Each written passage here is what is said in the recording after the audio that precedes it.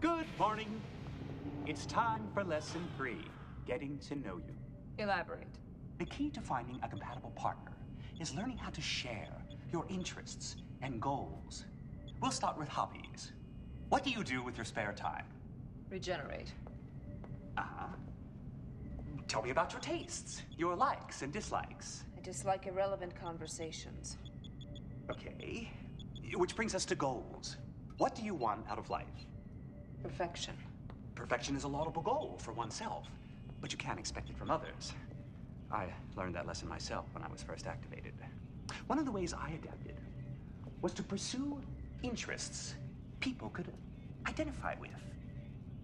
Holo-photography, for example, opera. Music does have intriguing mathematical properties. Excellent. Perhaps we can mold this curiosity into an interest, something you can share with others. Let's see how much you know.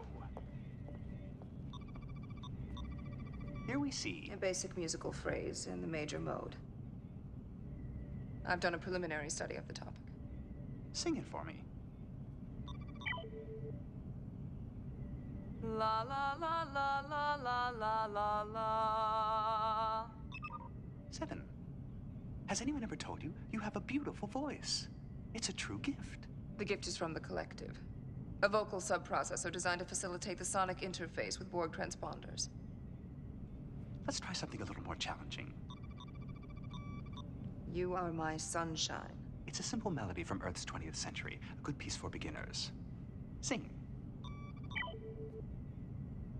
The other night, dear, as I lay sleeping, I dreamed I held you in my arms. That was flawless, but try putting a little more emotion into it. Like this.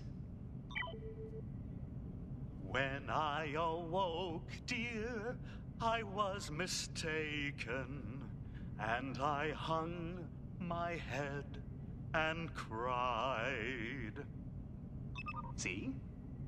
Computer, add instrumental accompaniment. On to the chorus. Together now. You are my sunshine, my only sunshine. You make me happy when skies are gray. You'll never know, dear, how much I love you. Please don't take my sunshine away. You are my sunshine, my only sunshine. You make me happy when skies are gray. Much I love you. Please don't take my sunshine away.